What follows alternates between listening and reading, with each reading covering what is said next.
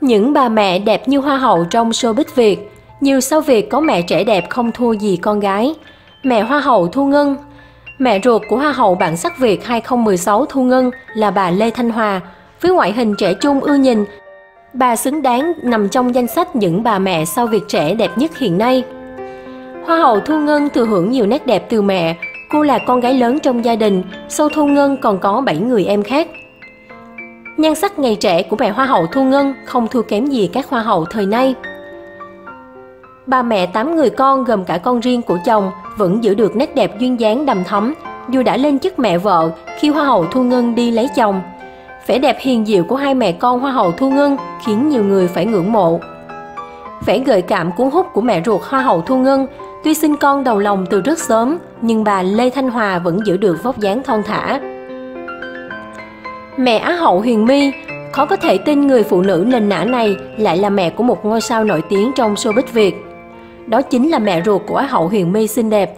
Nhiều bức ảnh của hai mẹ con được cư dân mạng bình luận trông giống như hai chị em vì mẹ Huyền My quá trẻ.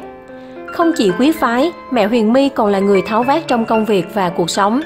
Làn da mịn màng trắng sáng của Huyền My chính nhờ thừa hưởng gen từ mẹ. Chẳng cần bộ ảnh thời trang, chỉ cần một khoảnh khắc đời thường cũng đủ thấy nhan sắc ngời sáng của mẹ Huyền My. Mẹ của Huyền My hơn con gái lớn khoảng 20 tuổi. Mẹ Á hậu Tú Anh Á hậu Tú Anh luôn tự hào về người mẹ tài giỏi và trẻ trung của mình. Nét đẹp của mẹ Á hậu Tú Anh khiến người ta suýt xoa vì vẻ sang trọng và quý phái. Mẹ của nhà thiết kế Lý Quý Khánh Mẹ ruột của nhà thiết kế Lý Quý Khánh cũng thuộc hàng phu nhân. Bà hiếm khi tham gia vào showbiz, chỉ đôi khi hình ảnh của bà được con trai chia sẻ. Xuất thân trong gia đình danh gia vọng tộc, mẹ Lý Quý Khánh mang nét đẹp cao sang. Mẹ của Lý Quý Khánh không chỉ sang trọng mà còn rất trẻ trung, nhan sắc không tuổi của bà khiến nhiều người ngưỡng mộ. Mẹ Bảo Anh Mẹ ruột của nữ ca sĩ Bảo Anh cũng là một trong số những bà mẹ sau việc đẹp nức tiếng. Mẹ Linh Nga Linh Nga thừa hưởng gần như tất cả nét đẹp từ mẹ ruột, bà cũng là một nghệ sĩ múa nổi tiếng, từ đó Linh Nga theo sự nghiệp của mẹ.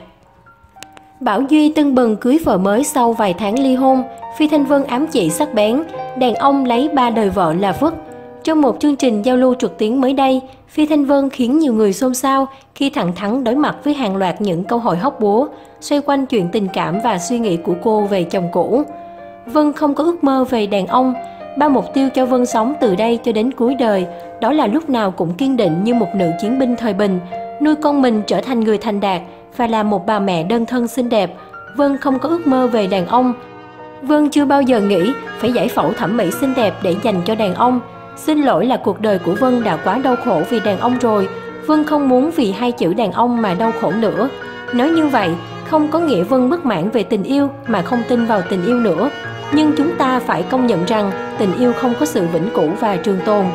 Yêu là một luồng cảm xúc cực kỳ đẹp và thăng hoa trong một giai đoạn nhất định và khi cưới nhau về thì tình yêu sẽ từ từ biến mất, chết đi, chấm hết và thay vào đó là trách nhiệm và bổn phận. Cảm xúc có thể thăng hoa theo những chiều hướng khác nhau và suy nghĩ sẽ thay đổi theo năm tháng. Có thể bây giờ Vân mới ly hôn thì Vân không muốn nghĩ đến tình yêu, nhưng sau này biết đâu Vân sẽ có suy nghĩ mới mẻ hơn về tình yêu, gia đình và những đứa con kế tiếp. Trên thực tế, nếu yêu đúng nghĩa thì ai cũng phải yêu bản năng hết. Nhưng hỡi các bạn gái, nếu yêu một người đàn ông mà bạn giới thiệu đẹp trai cao to khỏe khoắn, nhưng đầu óc rộng tết thì chẳng khác gì đang giới thiệu một con bò trong chuồng nhà mình. Ở tuổi của Vân, 35 tuổi, tiêu chí của Vân chọn người đàn ông sẽ khác. Anh ấy phải đúng chuẩn một người đàn ông. Vì đàn ông mà tính đàn bà thì vất, lấy một đời vợ, hai đời vợ, chứ ba đời vợ thì cũng vất. Anh ấy cần phải hiểu sâu sắc về trách nhiệm làm chồng, làm cha, phải hiểu cần làm gì cho người phụ nữ của mình hạnh phúc, chứ không phải quăng một đống tiền vào mặt để có thể làm phụ nữ hạnh phúc. Dù sao đi chăng nữa anh ấy cũng là cha của con Vân. Trong thời gian gần đây, Vân hoàn toàn không liên lạc gì với người cũ nữa. Trong trường hợp một tháng, hai tháng mà người ấy muốn gặp con một lần thì Vân sẵn sàng cho tài xế đón để gặp một hai tiếng không sao cả.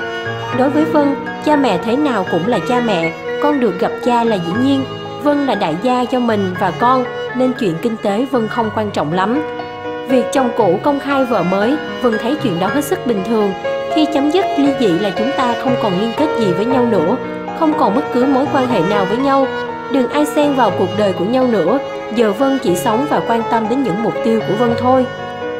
Bảo Duy sắp lấy vợ ba, Vân không nói xấu người cũ, dù sao cũng đã có những giây phút mặn nồng, cũng từng đầu ấp tay gối, cũng gọi nhau là vợ chồng, cũng đi ăn và du lịch, dù sao đi nữa anh ấy cũng là cha của con Vân, nên Vân không muốn nhận xét về điều gì. Vân chỉ mỉm cười với quá khứ, còn ai muốn đánh giá về con người thì cứ đọc lại những bài báo về Vân sẽ hiểu cuộc chơi ấy tại sao lại chấm dứt. Với Vân chuyện cũ đã là quá khứ nên thật sự giờ Vân không quan tâm. Sau này khi con Vân lớn, nếu con hỏi về chuyện của cha mẹ, Vân nghĩ mình sẽ trả lời cho con theo một cách thành thật nhất. Vân sẽ giải thích rằng đơn giản ba mẹ đều có cuộc đời riêng, không thích sống cùng nhau. Cha con có cuộc sống mới nên không sống cùng mẹ con mình. Còn mẹ vẫn đi cùng con, vẫn yêu thương và bên cạnh con. Còn đến khi con đủ nhận thức về mọi việc, con có thể tìm đọc lại tất cả những bài báo viết về cha mẹ thì sẽ hiểu vì sao.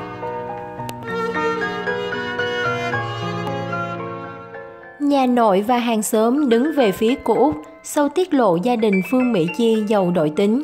Không chỉ cô Út mà phía nhà nội và hàng xóm tiếp tục có những chia sẻ phía sau câu chuyện mâu thuẫn với gia đình Phương Mỹ Chi.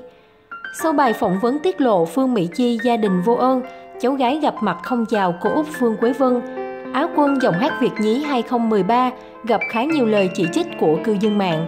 Chúng tôi tiếp tục quay lại ghi nhận thêm thông tin từ phía của Út, gia đình nhà nội cũng như hàng xóm xung quanh để có cách nhìn cụ thể hơn về sự việc này. Tôi không bôi nhọ Phương Mỹ Chi, chỉ buồn vì cháu gái gặp cô mà không chào. Những gì tôi chia sẻ trong những ngày qua đều là sự thật. Có hỏi thêm thế nào thì cũng chỉ là những câu chuyện đó thôi. Nhiều người nói rằng vì sao việc gia đình không đóng cửa bảo nhau. Tôi xin khẳng định một lần nữa là vì sau khi đọc bài báo do Phương Mỹ Chi phát biểu, anh ruột tôi có gọi cho gia đình Mỹ Chi, hỏi rõ ngọn ngành. Ba má của Phương Mỹ Chi tức anh và chị dâu tôi trả lời rằng do báo chí tự đăng, chứ phía Phương Mỹ Chi hoàn toàn không liên quan gì cả. Nếu báo tự đăng, vì sao phía gia đình không có một lời đính chính nào mà để thông tin đó lan truyền rộng rãi nhiều ngày liền, được chia sẻ với tốc độ chóng mặt. Tôi đi đâu bạn bè cũng hỏi chuyện, phải chịu rất nhiều áp lực, nên tôi quyết định tìm đến một tờ báo do một người học trò giới thiệu để nói lên lòng mình. Số tiền 2 triệu đồng phía gia đình Phương Mỹ Chi tự động chu cấp cho tôi đã cắt từ cách đây hơn một năm, kể từ trước Tết 2016. Thời điểm đó, con số 2 triệu không thể đủ cho việc sinh hoạt ăn uống hàng ngày. Cộng thêm việc đôi mắt gần như mất hoàn toàn khả năng nhìn 13 năm nay khiến tôi không có sức lao động tạo ra thu nhập. Nên tôi có chủ động xin thêm chị dâu 1 triệu nữa là 3 triệu đồng. Nhưng chị nói gia đình không có đủ khả năng. Sau đó chị có đồng ý cho thêm nhưng không chuyển tận tay mà thông qua người khác. Tôi tự ái nên không lấy nữa.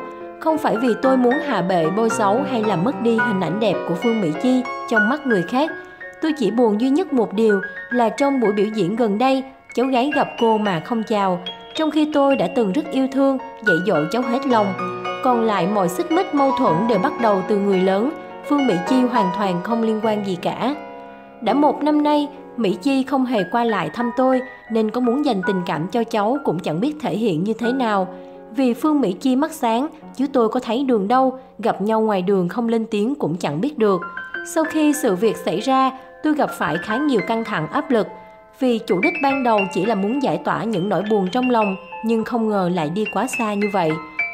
Người ta thậm chí còn nói tôi lợi dụng Phương Mỹ Chi để quảng bá cho mini live thế thiệu an quá, tôi chẳng có chủ đích nào cả. Những người yêu quý tôi họ muốn làm một chương trình để kỷ niệm thôi, tôi giờ như thế này chẳng biết ngày mai ra sao, có còn tồn tại trên đời này không, làm gì có ý nghĩ tính toán bất cứ điều gì. Phương Mỹ Chi không giữ tiền, tôi hoàn toàn biết điều đó. Vì thế tôi chưa từng nói rằng cháu không cho mình tiền bao giờ. Đây là xích mích giữa những người lớn với nhau. Tôi chỉ mong cháu giữ mãi được sự hồn nhiên như trước. Người lớn có gì tự giải quyết, còn cháu gặp cô cứ chào, cứ cười nói bình thường, chứ đừng tạo ra khoảng cách, dù gì cũng là ruột thịt. Tôi xin khẳng định thật lòng, nếu Phương Mỹ Chi hay gia đình có ý định giảng hòa, tôi sẵn sàng nhận lời. Đánh kẻ chạy đi, không ai đánh người chạy lại, điều đó còn gì hạnh phúc bằng nhưng đó là mong muốn của tôi thôi còn sự thật có diễn ra hay không thì chắc phải đợi thời gian trả lời nhà nội hàng xóm đồng loạt lên tiếng về phía cô út. Gia đình phương mỹ chi giàu đội tính. Trong buổi phỏng vấn của út phương quế như có cả sự góp mặt của chị gái ruột chị dâu cháu gái và hàng xóm xung quanh. Trước câu hỏi cảm nhận thế nào về sự việc giữa cô út và gia đình phương mỹ chi chúng tôi nhận được những câu trả lời tương tự nhau, đồng loạt đứng về phía Phương Quý Như. Chị gái của Phương Quý Như chia sẻ rằng, trước đây vì hoàn cảnh của Như khó khăn, sức khỏe lại yếu, không thể tự mình lao động kiếm sống, nên anh nuôi, má nuôi, bên nước ngoài có hỗ trợ mỗi người một ít để phụ thêm. Sau này khi Phương Mỹ Chi nổi tiếng kiếm được tiền, ai cũng nghĩ cháu gái sẽ lo cho cô, nên phần tiền này sẽ bị cắt.